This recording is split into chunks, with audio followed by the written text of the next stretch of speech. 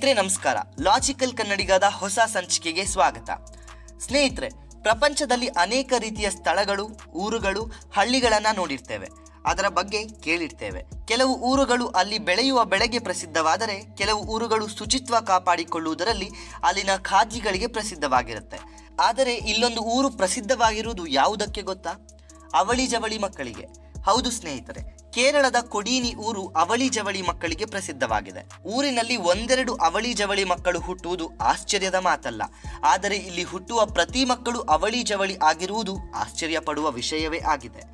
ಕೇರಳದ ಕೊಡೀನಿಯಲ್ಲಿ ಎಲ್ಲ ಮಕ್ಕಳು ಅವಳಿ ಜವಳಿ ಆಗಿರುವುದರಿಂದ ಈ ಹಳ್ಳಿಯನ್ನ ಟ್ವಿನ್ ವಿಲೇಜ್ ಎಂದು ಕರೆಯಲಾಗುತ್ತದೆ. ಕೊಡೀನಿಯಲ್ಲಿ ಐನೂರ ಐವತ್ತಕ್ಕಿಂತ ಹೆಚ್ಚು ಅವಳಿ ಜವಳಿಗಳಿದ್ದಾರೆ ಜಗತ್ತಿನಲ್ಲಿ ಅವಳಿ ಜವಳಿಗಳ ಅನುಪಾತ ಸಾವಿರಕ್ಕೆ ನಾಲ್ಕು ಇದ್ದರೆ ಇಲ್ಲಿ ಸಾವಿರಕ್ಕೆ ನಲವತ್ತೆರಡು ಇದೆ. ಅಂದರೆ ಪ್ರತಿ ಸಾವಿರ ಮಕ್ಕಳಲ್ಲಿ ನಲವತ್ತೆರಡು ಅವಳಿ ಜವಳಿಗಳು ಇಲ್ಲಿ ಅವಳಿ ಜವಳಿ ಮಕ್ಕಳು ಹುಟ್ಟುವುದು ಎಷ್ಟೋ ಪೀಳಿಗೆಯಿಂದ ನಡೆದುಕೊಂಡು ಬಂದಿದೆ. ಇದೇನು ವರದಾನವೋ ಶಾಪವೋ? ಇಲ್ಲಿನ ಕೆಲವು ಜನರು ಅವಳಿ ಮಕ್ಕಳು ಹುಟ್ಟುವುದು ವರವೆಂದು ಭಾವಿಸಿದರೆ ಇನ್ನು ಕೆಲವರಿಗೆ ಗರ್ಭಧಾರಣೆ ಹಾಗೂ ಮಕ್ಕಳು ಹುಟ್ಟುವ ಸಮಯದಲ್ಲಿ ಉಂಟಾಗುವ ನೋವು ದುಪ್ಪಟ್ಟು ಆಗಿರುವುದರಿಂದ ಕೆಲವರು ಇದರಿಂದ ಬೇಸರಗೊಳ್ಳುವುದು ಉಂಟು. ಇಲ್ಲಿ ಕೆಲವರಿಗೆ ಒಂದೇ ಬಾರಿ ಅಲ್ಲದೆ ಎರಡು ಹಾಗೂ ಮೂರು ಬಾರಿಯೂ ಅವಳಿ ಜವಳಿ ಮಕ್ಕಳಾಗಿರುವ ಉದಾಹರಣೆಗಳಿವೆ. ಇಷ್ಟು ಅವಳಿ ಜವಳಿ ಮಕ್ಕಳನ್ನ ನೋಡಿದರೆ ಎಷ್ಟು ಗೊಂದಲ ಉಂಟಾಗಬಹುದು? ಅವಳಿ ಜವಳಿ ಮಕ್ಕಳು ತಾವು ಒಂದೇ ರೀತಿ ಇರುವುದರ ಲಾಭ ಪಡೆದುಕೊಳ್ಳಬಹುದು.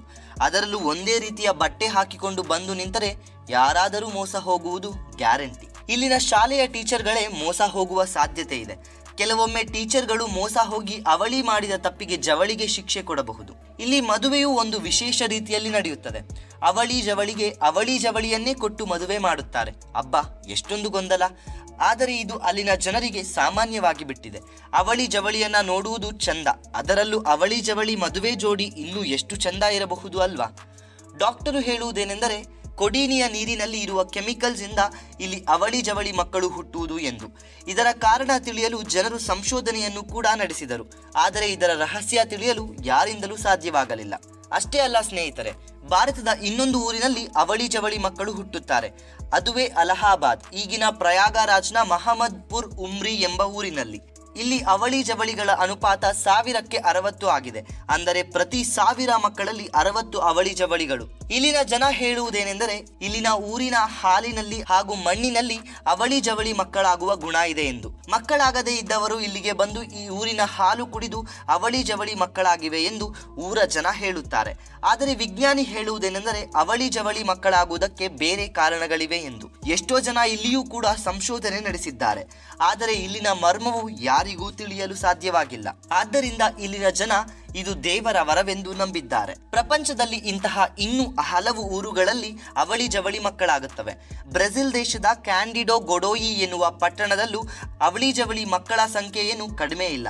ಇಲ್ಲಿ ಇಪ್ಪತ್ತನೆಯ ಶತಮಾನದ ಆರಂಭದಿಂದ ಅವಳಿ ಜವಳಿ ಜನನಗಳನ್ನ ಗುರುತಿಸಲಾಗಿದೆ. ಮತ್ತು ಇಪ್ಪತ್ತನೆಯ ಶತಮಾನದ ಉತ್ತರಾರ್ಧದಲ್ಲಿ ಹಲವಾರು ತಲೆಮಾರುಗಳ ಮೂಲಕ ಇದನ್ನು ಗಮನಿಸಲಾಗಿದೆ. ಮೊದಲ ವಲಸಿಗರು ಹದಿನೇಳು ಸೆಟ್ ಅವಳಿಗಳನ್ನ ಹೊಂದಿದ್ದರು. ಇಲ್ಲಿನ ಜನಸಂಖ್ಯೆಯು ಹೆಚ್ಚಾಗಿ ಪೋಲಿಷ್ ಅಥವಾ ಜರ್ಮನ್ ಸಂತತಿಯವರಾಗಿದ್ದಾರೆ. ಇಲ್ಲಿ ಅವಳಿ ಜವಳಿ ಹುಟ್ಟುವುದು ಸಾಮಾನ್ಯವಾಗಿ ಬಿಟ್ಟಿದೆ. ಅವಳಿ ಮಕ್ಕಳು ಹುಟ್ಟದಿದ್ದರೆ ಇಲ್ಲಿನ ಜನ ಅವರನ್ನು ನೋಡಿ ಆಶ್ಚರ್ಯ ಪಡುತ್ತಾರೆ ಈ ಪಟ್ಟಣದಲ್ಲಿ ಹತ್ತರಲ್ಲಿ ಒಬ್ಬರಿಗೆ ಅವಳಿ ಜವಳಿ ಮಕ್ಕಳಾಗುತ್ತವೆ. ಇಲ್ಲಿನ ಜನರು ನಂಬುವುದು ಇಲ್ಲಿನ ನೀರಿನಲ್ಲಿ ಏನೋ ಇದೆ. ಆದ್ದರಿಂದಲೇ ಅವಳಿ ಜವಳಿ ಮಕ್ಕಳು ಹುಟ್ಟುತ್ತಿರುವುದು ಎಂದು. ಪ್ರತಿ ಎರಡು ವರ್ಷಗಳಿಗೊಮ್ಮೆ ಪಟ್ಟಣವು ಇಲ್ಲಿ ಜನಿಸಿದ ನೂರಾರು ಅವಳಿಗಳಿಗಾಗಿ ದೊಡ್ಡ ಹಬ್ಬವನ್ನು ನಡೆಸುತ್ತದೆ. ಇಲ್ಲಿನ ಸ್ಥಳೀಯರು ಅವಳಿ ವಿದ್ಯಮಾನವು ನಾಜೀಸ್ಗಳೊಂದಿಗೆ ಸಂಪರ್ಕ ಹೊಂದಿರಬಹುದು ಎಂದು ನಂಬುತ್ತಾರೆ. ದಕ್ಷಿಣ ಅಮೆರಿಕಾಗೆ ಪಲಾಯನ ಮಾಡಿದ ನಂತರ ಸಾವಿರದ ಒಂಬೈನೂರ ಅರವತ್ತರ ದಶಕದಲ್ಲಿ ನಾಜಿಗಳ ಸಾವಿನ angel, Nazi angel of death ಎಂದು ಕರೆಯಲ್ಪಡುವ ಜೋಸೆಫ್ ಮೆಂಗಲ್ ಇಲ್ಲಿ ಕಾಣಿಸಿಕೊಂಡಿದ್ದನು ಎಂದು ಕೆಲವರು ಹೇಳುತ್ತಾರೆ. ಆಶ್ವಿಡ್ಜ್ ಕಾನ್ಸಂಟ್ರೇಷನ್ ಕ್ಯಾಂಪ್ನಲ್ಲಿ ಅವಳಿ ಮಕ್ಕಳ ಪ್ರಯೋಗ ಮಾಡುವುದರಲ್ಲಿ ಅವರು ಕುಖ್ಯಾತರಾಗಿದ್ದರು. ಅರ್ಜೆಂಟೀನಾದ ಇತಿಹಾಸಕಾರ ಜಾರ್ಜ್ ಕ್ಯಾಮ್ಯಾರಸ್ ಅವರು ಮೆಂಗಲೆ ಈ ಪ್ರದೇಶದ ಮಹಿಳೆಯರ ಮೇಲೆ ಪ್ರಯೋಗಗಳನ್ನು ನಡೆಸಿದ್ದಾರೆ ಎಂದು ಸೂಚಿಸಿದ್ದಾರೆ. ಇದು ಅವಳಿಗಳ ಹೆಚ್ಚಿನ ಅನುಪಾತಕ್ಕೆ ಕಾರಣವಾಗಬಹುದು ಎಂದು ಹೇಳಲಾಗುತ್ತದೆ. ಮತ್ತೊಂದು ಅವಳಿ ಜವಳಿ ಹುಟ್ಟುವ ಪ್ರದೇಶವೆಂದರೆ ನೈಜೀರಿಯಾದ ಇಕ್ಬೋ ಓರಾ. ಈ ಪಟ್ಟಣವನ್ನ twin capital of the world ಎಂದು ಕೂಡ ಕರೆಯಲಾಗುತ್ತದೆ. ಇಕ್ಬೋ ಒರಾದಲ್ಲಿ ಅನೇಕ ಅವಳಿ ಜವಳಿ ಜನನಗಳು ಈ ಪ್ರದೇಶದ ಮಹಿಳೆಯರ ಆಹಾರ ಪದ್ಧತಿಗೆ ಸಂಬಂಧಿಸಿರಬಹುದು ಎಂದು ಸಂಶೋಧಕರು ಸೂಚಿಸಿದ್ದಾರೆ. ಆಹಾರ ಸೇವನೆ ಮತ್ತು ಅವಳಿ ಜನನಗಳ ನಡುವೆ ಯಾವುದೇ ನೇರ ಸಂಬಂಧವು ಸಾಬೀತಾಗಿಲ್ಲವಾದರೂ ಲಾಗೋಸ್ ಬೋಧನಾ ಆಸ್ಪತ್ರೆಯಲ್ಲಿ ನಡೆಸಿದ ಸಂಶೋಧನಾ ಅಧ್ಯಯನವು ಇಕ್ಬೋ ಒರಾ ಮಹಿಳೆಯರಲ್ಲಿ ಕಂಡುಬರುವ ರಾಸಾಯನಿಕ ಮತ್ತು ವ್ಯಾಪಕವಾಗಿ ಸಿಪ್ಪೆ ಸುಲಿದ ಗೆಡ್ಡೆಯ ಸೇವಿಸುವಿಕೆ ಕಾರಣವಾಗಿರಬಹುದು ಎಂದು ಹೇಳಲಾಗಿದೆ. ಸ್ನೇಹಿತರೆ, ಜನರು ಅವರವರ ನಂಬಿಕೆಗೆ ಅನುಗುಣವಾಗಿ ಕಾರಣಗಳನ್ನು ನೀಡುತ್ತಾರೆ. ಪ್ರಪಂಚದಲ್ಲಿ ವಿಜ್ಞಾನಕ್ಕೂ ಮೀರಿದ್ದು ಏನೋ ಇದೆ ಎಂಬುದು ಕೆಲವರ ನಂಬಿಕೆ. ಅವರವರ ನಂಬಿಕೆಗಳನ್ನು ಅವರವರಿಗೆ ಬಿಟ್ಟು ಬಿಡೋಣ. ಇನ್ನು ನಮ್ಮ ನಿಮ್ಮ ಭೇಟಿ ಮುಂದಿನ ಸಂಚಿಕೆಯಲ್ಲಿ.